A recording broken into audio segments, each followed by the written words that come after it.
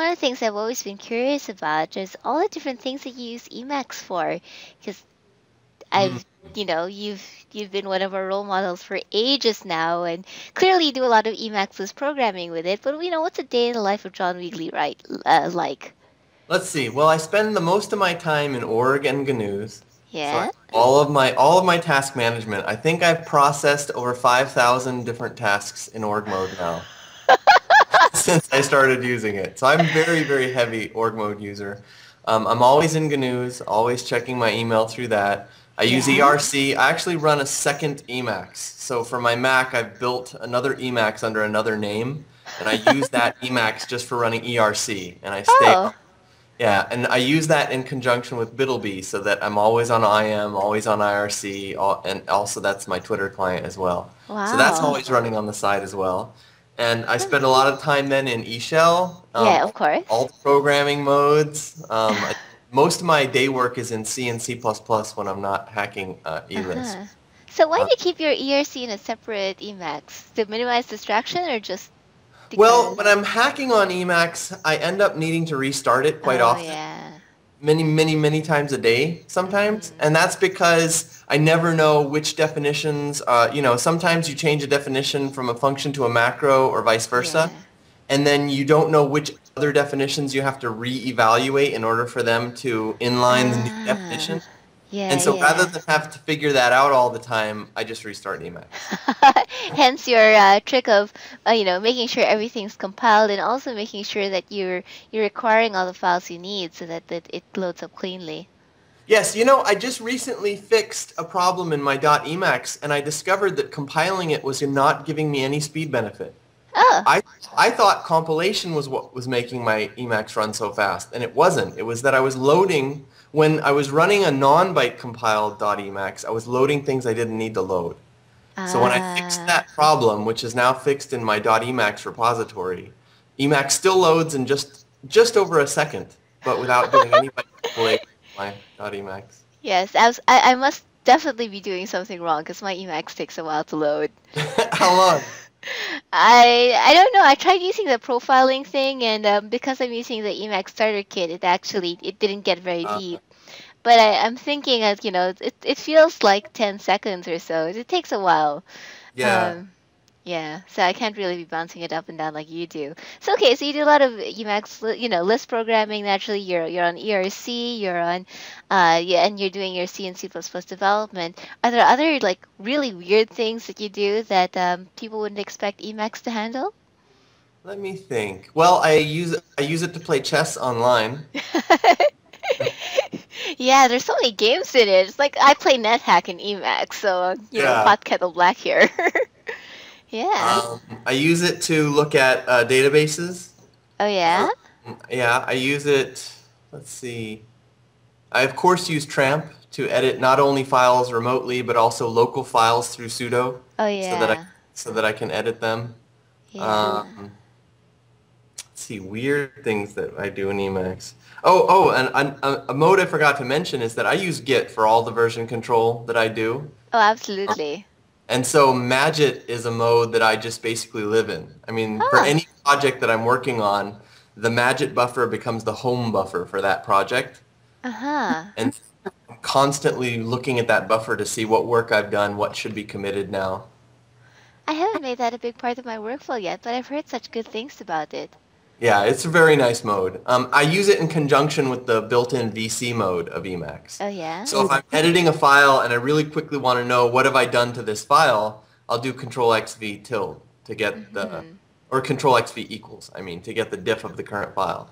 But if I want an overview of what have I been doing, what have I been touching, I'll go to the Magit buffer and look at the stats. Mhm. I guess you version control your org files too. Do you, you know, Yes. what, what, do you do, what do you do to manage? Like, how, how many org files do you typically work with, and and um, how I do you manage have- all that? I think I have eight, but the thing is, all of my active tasks exist in a single org file. yeah. The other seven org files are all archives. ah. So I have an archive file for every project, even though the project, the live project lives in the main to-do file. That way when I do an org search, it's only at that time that it loads in all of the other org files to do the search. Ah. I need work to be as quick as it can, since I'm just basically always modifying uh, tasks and adding tasks to it as the day goes on. That could be it. I- I've got like a you know humongous org file, and org ref file takes a while trying to parse it. So Yes, it does. It does. yeah, yeah. Okay. Yeah, I, I, I use Dropbox to synchronize my org mode files to my iPhone um, because I use org mobile. oh yeah, and- yeah. Uh, another in- interesting tool I have found is that there's an app for the iPhone called Dropvox, which lets you take a voice note and then it puts it in your Dropbox. and then I've changed, uh, I have an org mode hook so that whenever I open my org mode buffer, if there is an audio file in my Dropbox box, it will just pop up Dired and show it to me, meaning, you know, you should listen to this and add this as a note to your org mode now. That's awesome. That's like if this and that and steroids. Yeah. So because you know all all during the day, new tasks are coming in. They're either coming in by ideas, by email, by web pages. Um, I have um, a key binding I use in Emacs. Uh, since I don't use MetaM for anything else, MetaM is my make a note uh, key binding. So whatever I'm at, if I hit MetaM, it'll make uh, a, a capture, an org capture, and it'll link it to whatever I was on when I did the capture. So if I was on an email, it links it to the email. Well, there's a tool for the Mac called QuicKeys, and QuicKeys lets you rebind things globally on your system. So I've made it so that MetaM works anywhere on the system That's and awesome. tries to be intelligent as it can. So if I'm looking at a, Cro- uh, a web page in Chrome and I hit MetaM, it'll take me to Emacs, pop up the org capture buffer, and then put a link over to the web page that I was looking at. So is So that using org protocol or just QuicKeys? It's not using org protocol. It's just using QuicKeys. The only thing QuicKeys is really doing is it's switching over, and then um, then I use AppleScript from Emacs Ah. to talk to Chrome and get the information. I actually use AppleScript quite a lot for many different things, but um, using AppleScript from Emacs is something I do often. That's pretty cool. What are some of the other AppleScripty things you do with Emacs then? Um, let's see. Well, um, I don't like to keep Dropbox running all the time because it, it takes a lot of background CPU. Mm-hmm. Um, at the end of a few days, when I look at my process list and I look at total time in the kernel spent by all processes, Dropbox is usually number two behind the kernel itself. Yeah, yeah, and that's a little egregious to me when I'm only using it once in a while. So um, I have AppleScript so that in org mode, when I say go get my mobile tasks, it fires off, it starts up Dropbox, waits a half a minute, and then stops Dropbox. So it's just running enough time to do the synchronization. And of course, I use that async module I told you about last week to do that work. Wow, it sounds like you you know you got it quite integrated into into the other things that you use in your Mac. That's fantastic. Oh, fantastic. absolutely. Yeah, the, the Emacs is the center of my entire environment. So It's amazing. It's just you know being able to glue all these bits together and and and make things work. That's incredible. What are some of the things you wish you could glue together? You know, Hmm. what you know, what is the the the John Wiegley to do? You know, to code some point in the future list. Well, I would like it if Emacs had an FFI, FFI a foreign function interface, so Oh, that I yeah? could talk, I could talk directly to databases and to other things. Um, I know that there are there's a fork of XEmacs that can communicate directly with Postgres, and something like that would be nice because there are some systems that I work with where it would just be faster and more efficient if Emacs could talk to those systems directly instead of me having to communicate with them over a process. Yeah, yeah, Just- that would be cool.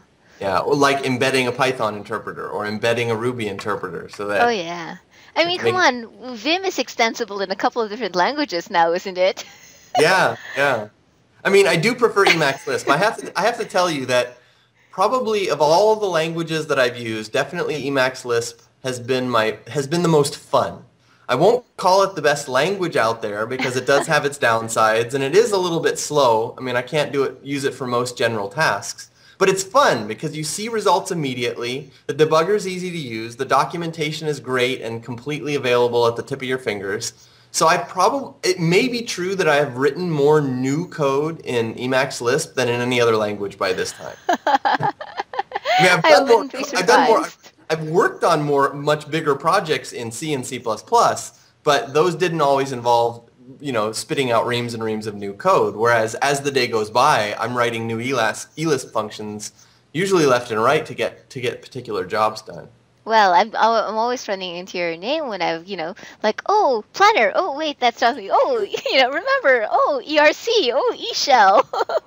yeah, too bad not all of those projects succeeded as well as I'd hoped. No, no, but like even like for example, going back to you know talking about you know org capture and picking up an annotation from somewhere really quickly. I remember when you're playing around with that, right?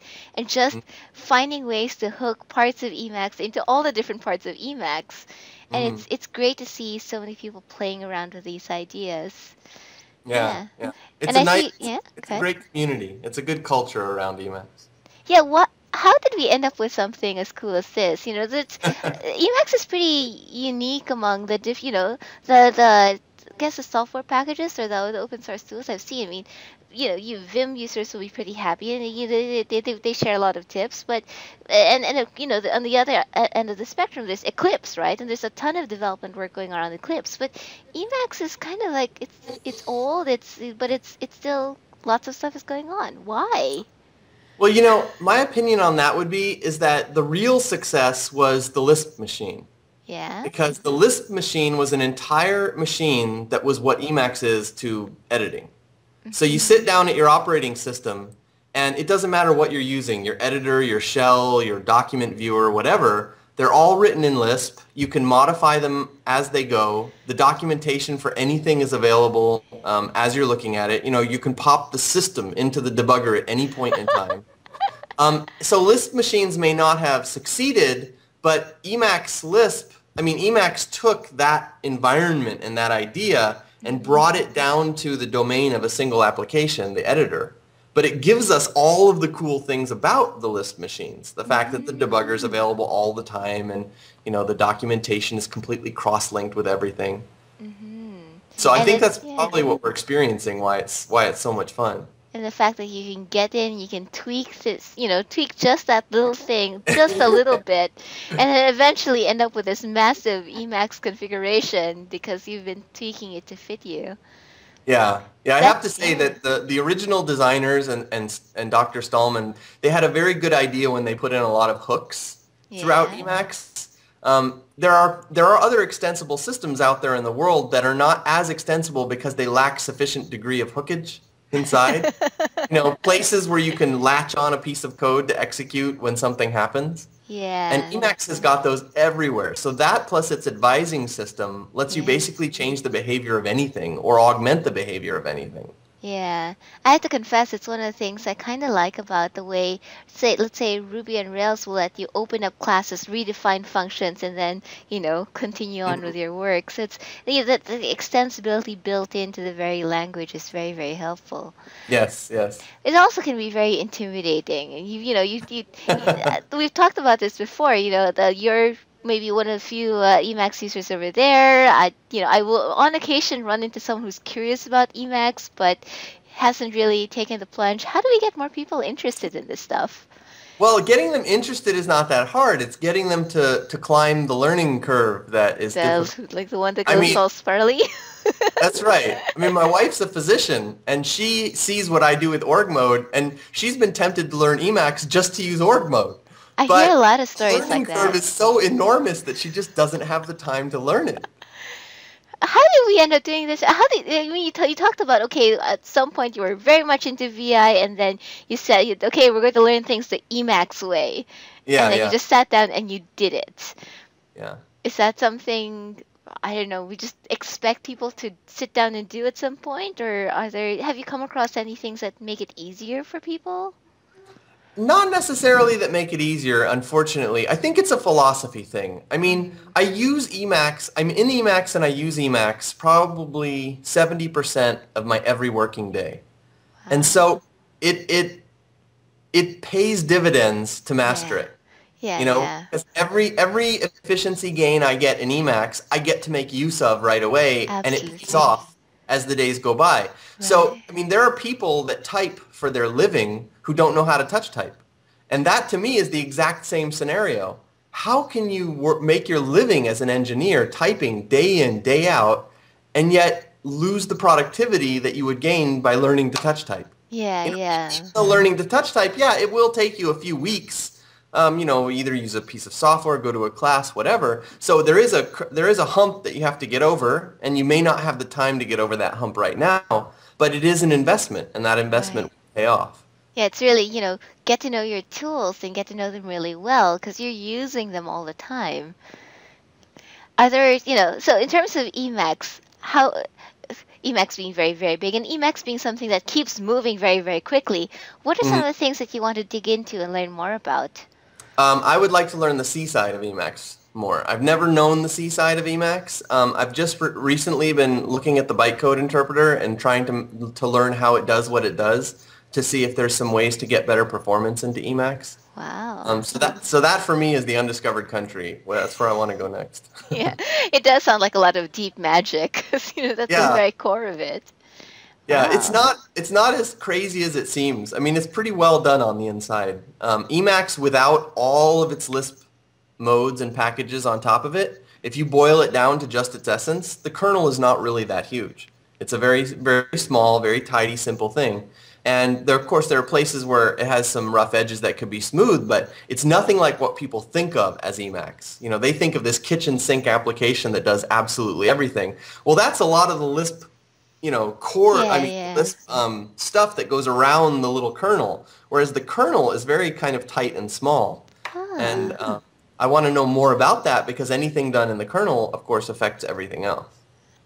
Well, if you ever get around to doing one of those annotated source code with notes and all that stuff, I would definitely read that. I I hear you're you're kind of on the you know on the hook for uh, eShell documentation or whatever else people would like you to write.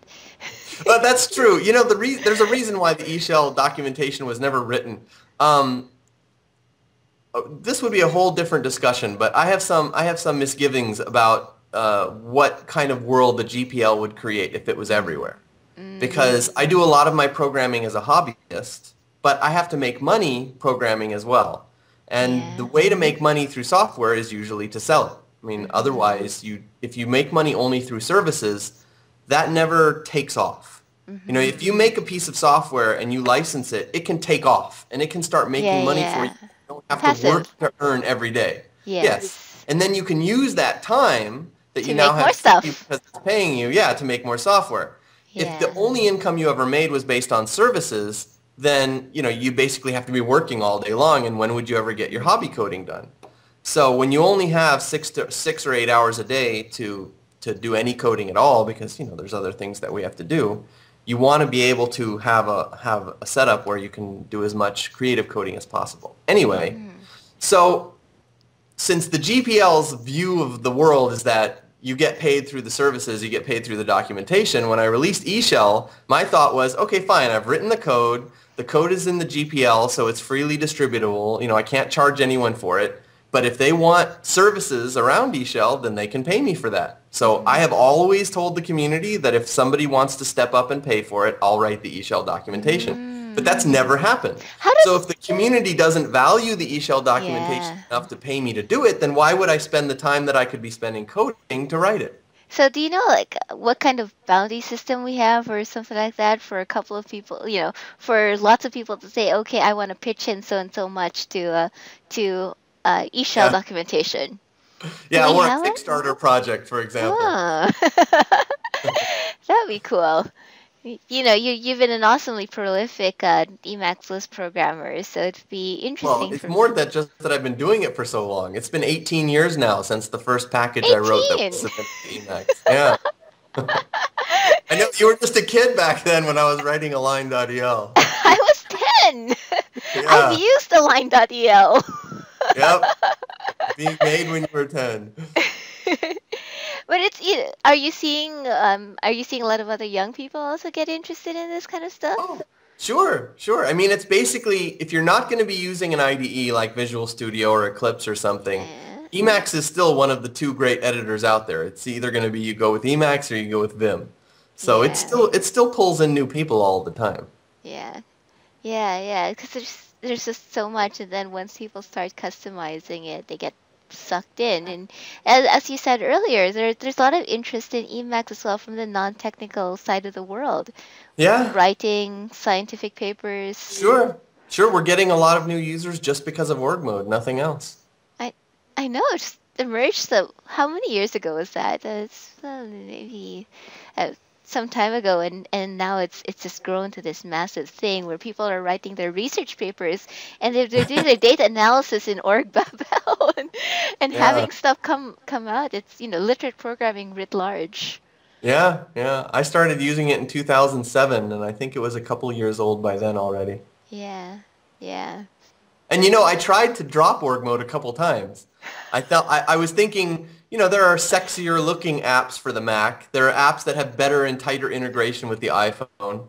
So on two different occasions, I left org, converted all my tasks over to a different program, used that program for a few months, came back to org, and I was always I always felt happy to be back in org. I don't know what it is about it. It's just it looks right. It feels right. You know, it, it's got the right balance between um, how finely you can enter and manipulate the information, and how like coarsely you can look at it at a glance. Um, other applications that I used, I don't know, there was just something about them that I wasn't getting the tasks done. I would put all the tasks into the application and then I'd be excited about it for a few weeks. And then after a couple months, I just wouldn't look at them anymore. I would That's- know that the tasks were in it, but I would never do anything about them. That's Whereas like a, no- yeah. Go ahead. Whereas in org mode, um, the way I use org mode, I use it like a day planner so that every task that I intend to do is scheduled for a particular day. And so I'm, I'm looking, I'm rescheduling tasks and moving them to new days every single day for, for years now. And it just never has felt like a burden. So some, there's something that org does right. Well, there's that the hack that you you told me about the other time where you uh you change your window size and so you're watching it shrink as you finish your Oh yeah, task. yeah, yeah. So I, fit, little- I fit it to the window. yeah, yeah. Little motivational hacks that you can do because you can play around with a with a tool itself. I remember when I was trying to learn flashcard, you know, through flashcards using flashcard EL, I rigged it up so that it would tell me a joke using fortune every time I got something right. It was either that or show me a cute, you know, cat picture from the files that Uh-huh. it saved off I Can Has Cheezburger. You know, the fact that you can hack it to do all sorts of crazy things, that's Sure. incredible. Yeah. Yeah. Yeah, I, I just started playing around with its ability to view PDF files. It can Uh, be? Yeah, you can you can use Control X, Control F, and just open a PDF file, and you'll see it in your Emacs. It renders them page by page as PNG files, and then uses the image viewer, uh, the ImageMagick extension built into Emacs 24 to show you those pages. Which is useful to me because I'm often looking at a at a language specification at the same time as I'm writing code, and it's kind of nice to have it in another buffer the way I would have Emacs documentation. And I I- can look at the C++ standard now and have it just be in another buffer. So how did you come across this new capability? Because I didn't know about this. I think I ran into it accidentally. I think I was in Dired mode and I hit return on a PDF instead of hitting bang to open it. And then all of a sudden there it was. And I was like, wow, I didn't know Emacs could do that. so it's basically uh, uh, for for people who want to learn things, just do random things in Emacs. Yeah, although if you're going to do random things in Emacs, take notes. Otherwise, you'll never know how to get back to what you found. well, uh, that's that's what the lossage buffer is for, isn't it? Yeah, the lossage buffer can be a bit hard to read, though. or uh, what's that uh, execute extended command or whatever the thing gets back you to? Uh, yeah. So It- so it- I did find on Emacs Wiki a mode called command log, and it, it keeps in a very readable form every command that you use. I I, I definitely have to pick up this habit of yours of just reading the entire Emacs wiki. Yeah. That's how I started learning. You know, you ask about how people get over the learning hump. Well, I'll tell you what I did. Uh, back in 1994, when I started really wanting to know Emacs, what I did was I printed out the Emacs manual, which at the time was, I think, seven or 800 pages. And it was just single-sided paper. You know, I probably killed a small tree doing it. But I brought that stack of papers over to my desk and I put it on the side. And at the time, my machine was slow enough that I was often waiting for builds to finish. So what I would do is while whatever was building on my machine, I would pick up the top page of the Emacs manual, I'd read it, and then I'd throw it away. You know? And I just did that over a several weeks time. I ended up reading the Emacs manual in all of this dead time I had waiting for compilations to finish. Oh, And I my made that a yearly habit for about the first four years, just to constantly refresh my knowledge of what's in there because it's such a massively huge environment. But it helped. It helped. So my story is that I've used Emacspeak to uh, synthesize the Emacs manual so I can listen to it while walking around. That's cool. oh, great. And I actually, because I was reading my mail off news at the time, right? So uh, you, you Uh. could use Emacspeak to read your mail and all of that stuff. sure. It's, you find all these ways to cram information to your brain. I would be up for, you know, listening to more podcasts. Or uh, I see, you know, people are coming out with with books as well. So there's, you know, there's there's the org mode book. Um, that that might be another way for you to do it, right? You take your you write your documentation. You say, here's a book that you can buy. But then it's very speculative work, I suppose. Yeah. Well, uh, you know, uh, there's probably a there's actually speaking of other things that integrate into Emacs. Thank you for writing Ledger, by the way, because I still run all my finances sure. with it. I can't figure. I have no idea where I'm going to find an accountant who understands Ledger. So who knows if you That's our know. biggest problem right now. I know. Well, uh, so either either uh, we, we put together a Kickstarter or whatever, so that you end up writing a like a manual, and then accountants all over the world will be, oh my gosh, this is awesome. Uh, or or I just find a way to uh, deal with QuickBooks. Well, Ledger does have a of back and manual. That was a, that was one I wrote the Yeah, yeah, manual yeah. for. yeah, it's also not GPL.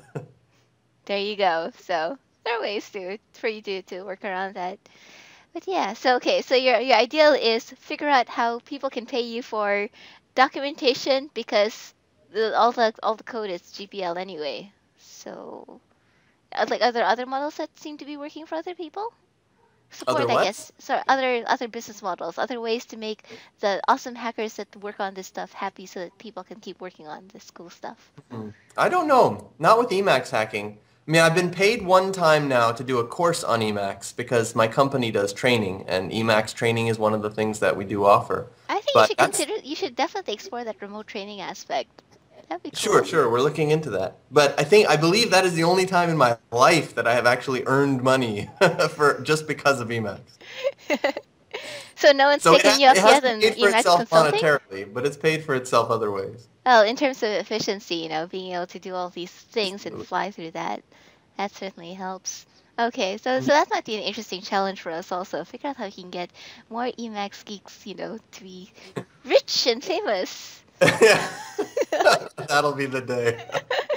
Imagine if we had an Emacs app marketplace. Yeah, seriously. wow. Just just propose that idea on the mailing list and see, Yeah, that'd be so flame war that would get. But it is very nice to you know just be able to play around with all these different packages, and there's thousands that you can you can do, and and the fact that a lot you know a lot of them will go and, and look for ways to integrate with each other, like the way that Sure. BB, BBDB integrates with Moose, right? Yeah, yeah, that's another one that I use.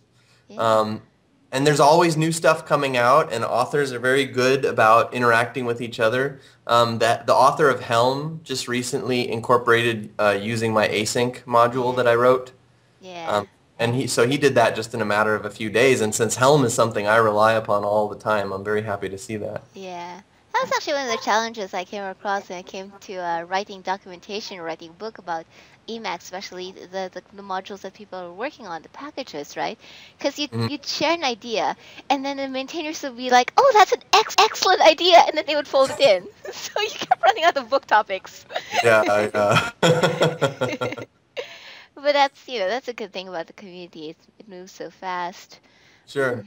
Yeah, if people are looking to know Emacs better, they should also stop by the IRC channel because I'm there every day and a lot of people there can give good help if you have Yeah, questions. it only looks off topic from time to time, but if people show up with Emacs Yeah. questions, It also depends on the get time of day too. so, so evenings tend to work out for you, or when do pe- when you know when do people usually hang out there? well, I'm a night coder, so that's when I'm there. Um, yeah, But people are there all all around the clock. Yeah. I tend to drop by in the evenings too um, when I remember to do that. But you know, ERC makes it so easy because it's just there. So Sure. Yeah, I haven't I seen you there that often. background. You should come by I know, I know. I Um, always see you like in the very end of my night, so what would be dawn for most people. That's when you usually come in. That's funny.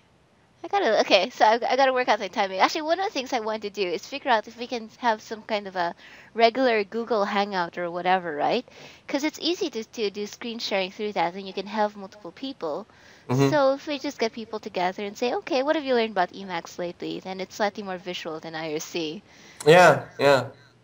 Yeah. And then there's also there's also Twitter. A lot of people use that to talk about new stuff they've found in Emacs. yeah, I see a couple of people tweeting um, like kind of really really short Emacs tips, and it's great to see that kind of stuff going on. hmm I remember people used to have uh, Emacs tips in their email signatures as well. So, so all the, you know, all these little ways to kind of increase randomness. I guess because Emacs is so huge Yeah, that if you just find little ways to say, oh, hey, there's this new feature or there's this interesting command over here, who knows, it'll spark. yeah, yeah. There's Oh. just too much, too much stuff, too much good stuff. So you'd recommend that if people are new, that they should check out the IRC channel, um, Emacs Yeah, Wiki, of course. Go through the Emacs tutorial first. Oh yes, of course. then stop by the channel, read the Emacs manual. You know, pick, pick something you want to accomplish with Emacs, and sort of focus your learning around making that happen, rather Yeah. than taking on the task of trying to swallow the whole thing right up from right up front. Yeah, and it seems like people easily divide into okay, you want to do programming, check out the Emacs wiki pages in the respective languages, Yeah, yeah. good enough place to start. And then if you want to do text editing, oops, or you know, subspecies uh, research paper editing or whatever else, then there are pages for that too. Yeah. And there's always more stuff out there than you're aware of because I've been trying to make myself aware of everything that's out there and I keep running into new stuff on a daily basis. Just yesterday I found SwankJS, JS, which lets you interact with the uh, JavaScript interpreter inside of your browser as a REPL. Hey, Yeah, so you can you can connect to Firefox and then be manipulating the web page through an Emacs REPL using JavaScript. Isn't that crazy? that is pretty crazy. But I can That see if I was if I were doing web development, I can see that that would just be invaluable. yeah, yeah. That sounds cool. I will go have to check that out. Just Uh, and then you also mentioned a couple of other Emacs blogs like Mastering Emacs and Yeah. actually I've, is that one syndicated on the Planet Emacsen yet? I don't know. I don't. I'm not sure if I have. See, I, I aggregate all of my feeds in Gnus into a virtual group, so I'm Yeah, never yeah. aware of actual source of any feed. I just get presented with one group that has all of the current happenings in Emacs. Hmm. Someday we should totally get your OPML and you know kind of Uh-huh. cross-reference it against everything that's syndicated there. That's That's true. You know, actually, that wouldn't be a bad project. Is to keep, is to maintain an OPML file of all of the Emacs feeds out there in the in the the net, because I would love to keep my list updated. You know, I went through and did a web. I did a search through through Gwene to see all of the feeds it had syndicated, which of course is not all the feeds that are out there. Oh yeah. And I did that. I did that two years ago, so there have been new feeds since. hmm Okay, so uh, so de- definitely uh, I'll take that as a way to as a to do and uh, see if uh, Planet Emacsen you know will have all these things or maybe uh, uh who's who's that in charge of it? Was it um Edward? I think Edward O'Connor. Yeah, that's right. Uh, That's right. So anytime you find a new feed, also add it to Gwene, and then that way anybody who goes to the Gwene server with Gnus can just like do a search for all groups matching Emacs, and Yeah, then yeah. subscribe to them all. So uh, with Gwene, when you reply, does it get posted as a comment too? I, I have never replied to anything in a Gwene server, Yeah. so I I guess have it. no idea what it does. Yeah, it would be tricky to make it that smart. It would be Yeah. cool, but it would be tricky. Sure, because there's so many blogging platforms, and some require authorization, and some have captchas, and Yeah, it would, yeah, it would be a little bit tough. yeah. I Well, I really thank Lars for setting that server up because it allows me to digest a lot of news about Emacs in a very short period of time each day. What else are you you know, what are some of your other massive amounts of information? Uh, how do I deal with this sort of tips? Hmm. You mean like just coping with data overload? Yeah. Uh, whether Oh, it's in um, terms of programming or uh, news, as you mentioned, Gwene is your way of handling RSS, mail. How do you filter? Well, I use virtual groups a lot just to aggregate so that I'm not overwhelmed by a, a huge number of groups that have lots of unread messages. I'd rather have fewer groups with more messages in them. And then I use Gnus um, very handy adaptive scoring. Oh yeah. yeah. And actually in my .emacs repository, there's a file called my GNU score. Yeah. And I've codified everything related to my scoring configuration in that file. So if you want to if you want to use the system that I use, that's the file to get. But adaptive scoring basically allows me to go into a group and then if I see a thread there that's not interesting to me and I don't read it, I will never see that thread again. So all of my groups only ever show me either threads I'm currently reading or new threads. I don't have to wade through um, stuff I'm not interested in anymore. I mean, it's, it's not that it just downscores it. It doesn't appear at all. So that's, that's a good way for me to cope with um, the, the thousands of articles per day that get downloaded to my machine because I'm only reading maybe, you know, 40, 40 of them at best. Um, so that's one good way to cope with the data overload. I'm trying to think. I've never found anything that had the kind of scoring that Gnus has. It's like, I wanted in everything, you know. I wanted with with Gmail. I wanted with all that stuff. But Yeah. come on, get with the times. Yeah. Well, even though I receive my email at Gmail, I suck it down to my machine with with FetchMail and I put it into a local Dovecot server so that Gnus yeah, a little sway over it. yeah. Um, the other thing, the other good thing that's valuable with, in coping with data overload is just structure. Structure is really the key to everything. And when structure gets too big, then you just need metastructure. As long as you have some way to get to the thing that you need to know when you need to know it, and you, but your top level view, the thing that you're, cons- you're thinking about in your mind is always small, then it doesn't matter how much information that you have.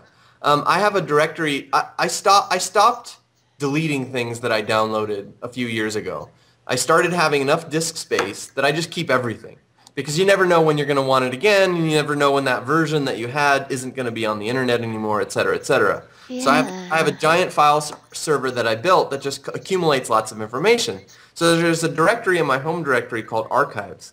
And Archives now has about 450 gigabytes of files in it across millions of files. And there's files within files, and it's just it's just an enormous amount of information. But the way that I manage that that data overload is just by structure. So I I, I um, developed a taxonomy to uh, uh, to put things in um, to, into places by category and by topic, so that whenever I have a file or whenever I'm looking for a file, I can know within seconds what the path name leading to that file or group of files is going to be. Because I because I adhere to the the taxonomy rigidly, and I have an inbox where new stuff comes in, and then I sort the stuff out from the inbox using Dired into the you know of the Of taxonomy course, that things that go- Emacs. Of course. But the key there is is that even though I have all this data, which is way more data than Spotlight or systems like that are ever going to help me search through, by having the right structure, the data is easy to find. So mm-hmm. while I'll use org mode as a sort of meta structure, so that if there are parts of that structure that I'm often referring to, I'll put a link to them in org mode. And so in org mode, I'll ah. have, you know, a hot list. And the hot list are the things I care most about right now. And the hot list will just branch to other lists or to other areas on the machine or to other parts of the web. But you want to keep the hot list down to a reasonably small amount, so like 10 to 20 items.